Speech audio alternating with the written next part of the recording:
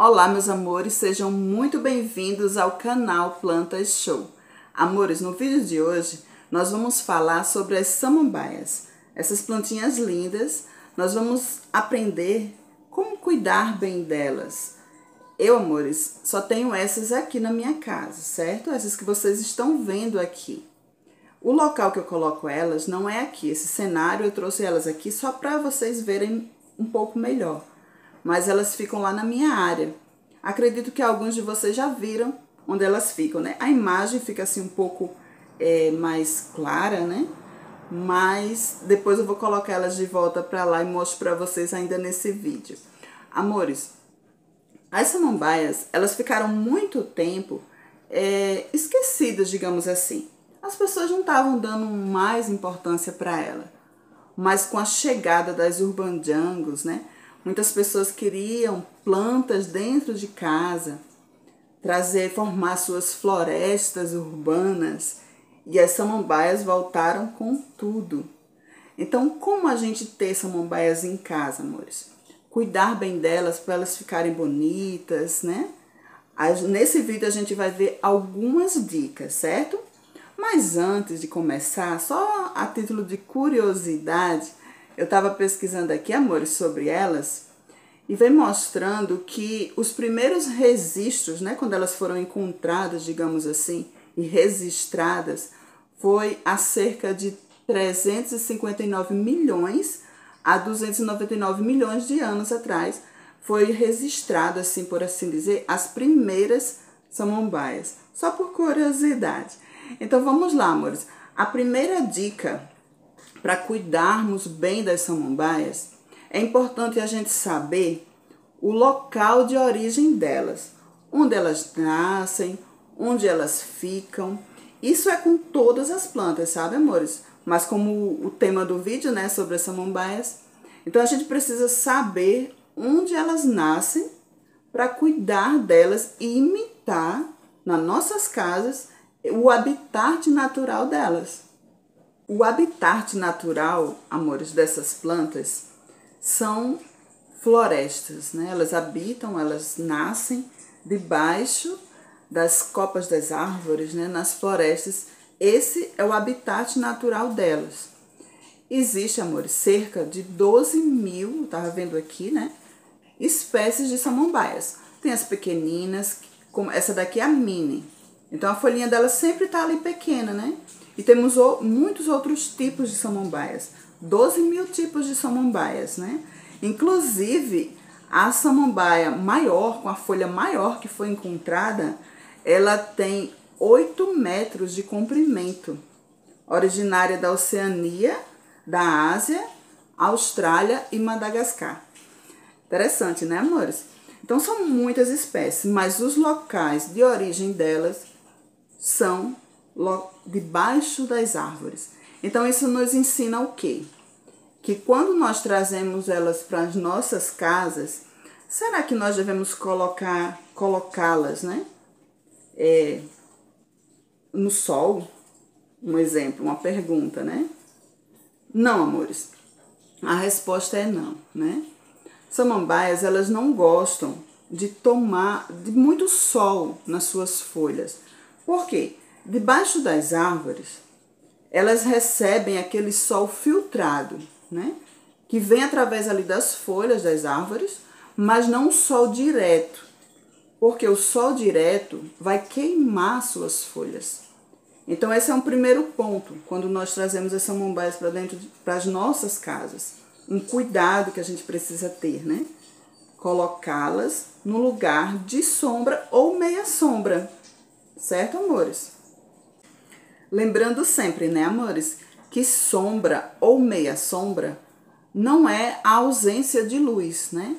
Essas plantinhas, elas todas as plantas precisam de iluminação, né? Por exemplo, é como saber, eu até já falei em outros vídeos, né? Como saber se o local é adequado para colocar as plantinhas. Uma dica que eu aprendi, já falei, vou falar novamente agora, amores, é você pega um livro, certo? Você pega um livro, algo para ler, e vai se afastando do ponto de iluminação. a janela, um portão, a porta, né? O, o ponto de iluminação ali da sua casa. Se você consegue ler, aquele local é adequado para a planta. Agora, se você não está conseguindo mais ler ou com dificuldade, então aquele local também não é adequado para a planta, porque a iluminação que está chegando lá é pouca, entendeu, amores? Porque, assim, a ausência, a sombra, no caso, né? É aquele, aquele cantinho da nossa casa que é iluminado, mas não necessariamente bate os raios do sol, entenderam? E a meia sombra, no caso, é aquele canto da nossa casa iluminado, mas que em algum momento do dia bate algum raio do sol. Então, esses locais é sombra e meia sombra são locais adequados para essas plantinhas internas, né? Porque a gente cultiva dentro de casa, inclusive as samambaias. Certo, amores? Amores, então o local de origem delas, né, onde elas nascem, no caso, é, debaixo das árvores, define todo o cuidado que a gente precisa ter com elas. A gente viu agora sobre a iluminação, né? Elas precisam de iluminação uma iluminação filtrada, mas precisam sim.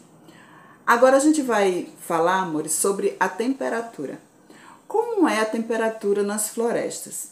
Será que é frio? Né? Será que é muito frio?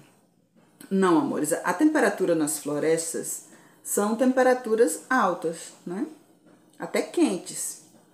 Então essas plantinhas, elas não gostam de muito frio, né? De muito de um ambiente muito gelado. Por exemplo, vamos dar um exemplo aqui, é, locais com ar condicionado, né? Elas não gostam desses ambientes. Então, mais uma vez, recriar esse cantinho na nossa casa, certo, amores? Uma temperatura amena, né? Um ambiente é, dessa forma elas vão se manter bonitas, certo, amores? Esse é um outro ponto. Outra, o outro ponto, amores, é a umidade, né? As florestas, elas são úmidas. Então, essas plantinhas aqui gostam sim de umidade, tanto no solo como nas suas folhas. Agora, lembrando, não deixar o solo encharcado, né? Porque isso não é bom para praticamente quase nenhuma planta e vai pode apodrecer, ela começa a amarelar, as folhinhas começam a cair. Não é bom para ela. Então vem aquela técnica, né, que a gente conhece bem, que é a técnica do dedômetro, né? Coloca mesmo o dedo na terra para verificar se a terra está úmida demais. É importante ter esse cuidado, amores, com as nossas samambaias. Principalmente, é, por exemplo, se a gente planta num vaso, é, muitas pessoas, eu mesma, eu tinha essa daqui, num vaso feito com coco, né? Com aquela parte do coco assim. E ele absorve bastante a água. Aí já é aquele, aí tem um perigo que ela seca muito rápido, né? Mas para manter a umidade, para a gente não se preocupar tanto, eu preferia, prefiro, né? E indico para vocês o vaso de plástico mesmo, porque o vaso de barro ele absorve muito, de coco também.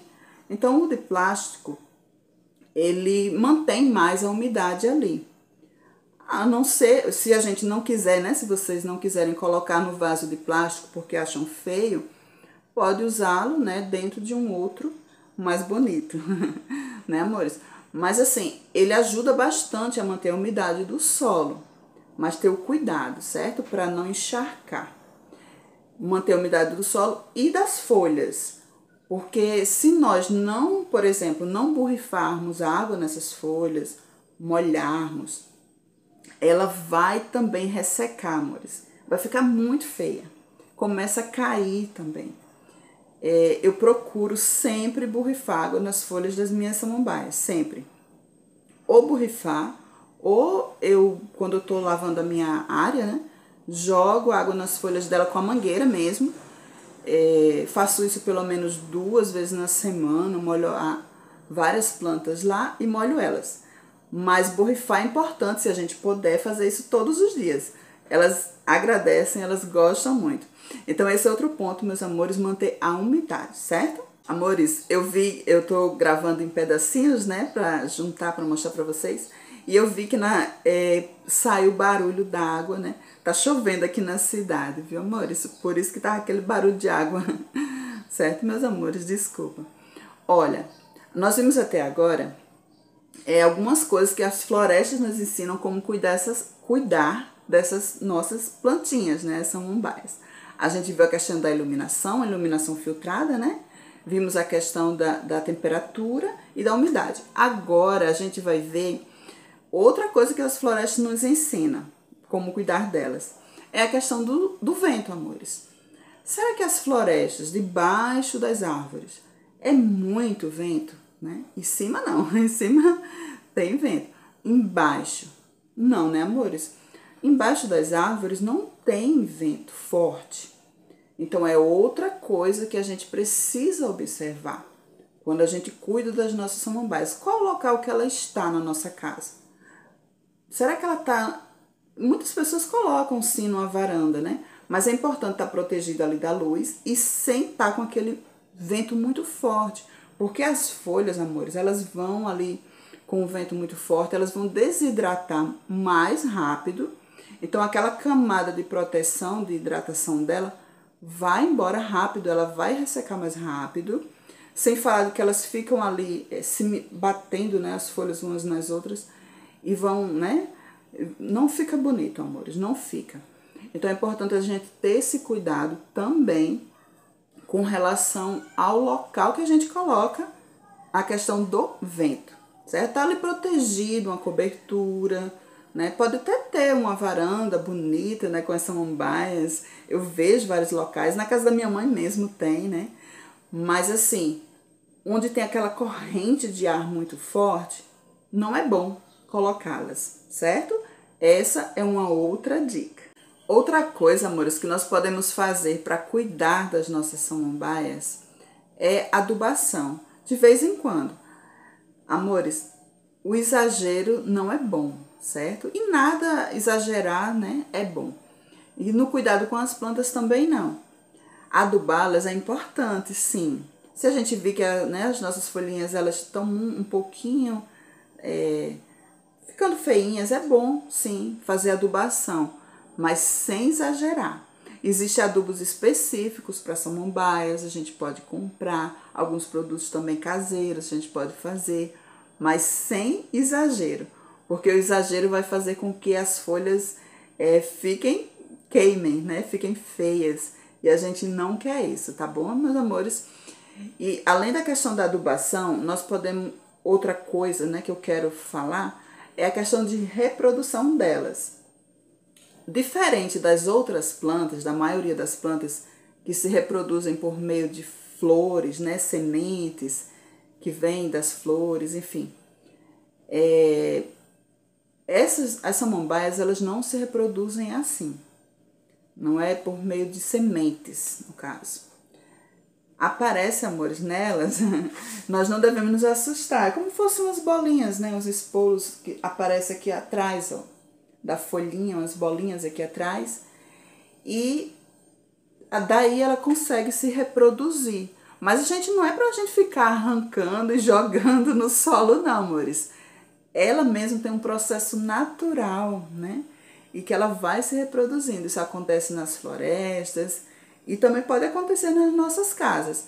Mas a forma mais simples mesmo é dividindo ela, a torceira. Quando ela está muito cheia, a gente retira do vaso ela por completo e divide com cuidado, né? E de uma planta a gente pode fazer outras e outras e outras. Certo, amores? Amores, é, eu vou colocá-las agora lá na minha área. Vou tentar filmar para vocês o ambiente que elas ficam, né? Como já tá ficando escuro, não sei se vai ficar bom. Mas de qualquer forma, se vocês quiserem vê-las, né, no local onde elas ficam, tem muitos outros vídeos aqui que eu mostro, tá bom? Mas eu vou tentar botar aqui nesse mesmo vídeo, tá? Tá certo, meus amores? Antes de concluir, eu queria agradecer a todos vocês que estão chegando no canal, que estão se inscrevendo, que estão curtindo.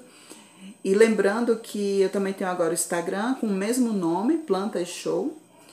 E ainda estou começando por lá, assim como eu estou começando aqui, né? É algo que eu estou tentando, né, amores?